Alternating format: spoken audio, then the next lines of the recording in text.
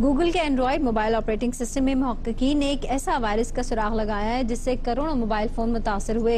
इस बग की मदद से स्मार्टफ़ोन इस्तेमाल करने वाले किसी भी सारिफ को तस्वीर या वीडियो पैगाम भेजकर उसके फ़ोन को नुकसान पहुँचाया जा सकता है।